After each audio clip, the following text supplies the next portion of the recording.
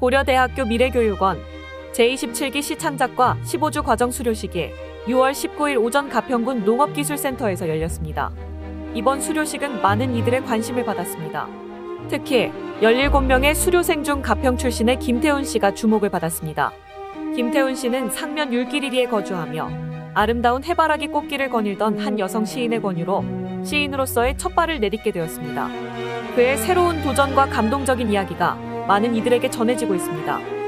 평생교육 프로그램에 용기 내셔서 이렇게 도전하셔서 시창작과 이렇게 공부하신 것에 대해서 정말 에, 정말 존경스럽고 자랑스럽습니다. 수려한 곳입니다. 그래서 어, 여러분들이 기회가 되신다면 우리 가평을 많이 방문해 주시고 오늘을 계기로 해서 또 가평에 대해서 많은 것을 알고 돌아가셨으면 좋겠어요. 우리 저 김태훈 씨가 제 이제 수석부회장을 맡고 같이 이제 가평군의 이제 농민 단체를 이끌어 가고 있습니다.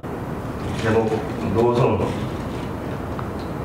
세월의 무게에 구불만 하거늘 그는 언제나 꼿꼿하였다 풍상의 아픔에 떨굴만 하거늘 그는 움켜쥔 흙방울을 놓지 않았다 가평문협회에 좋은 신들이 많고 좋은 문인들이 많고, 많은 거 알고 있습니다.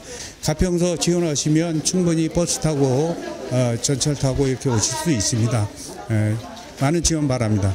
21년에 등단을 하고 21년 2학기 때 왕박사 치과의사라는 첫 시집을 냈어요. 이렇게 이 집을 오늘 출간하는 날입니다.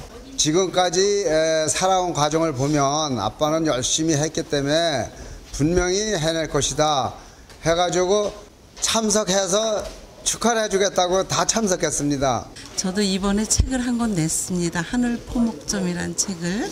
근데 우리 김태현 선생님도 앞으로 책을 내실 거고 제가 그렇게 하, 하실 수 있도록 제가 많이 이끌어 드리겠습니다. 저의 감성을 어, 풀어서 이렇게 시로 승화시킬 수 있다는 거에 대해서 참 어, 감동적이고요. 시를 볼 때 하나의 작품이 나온 것 같아서 보람이 있습니다.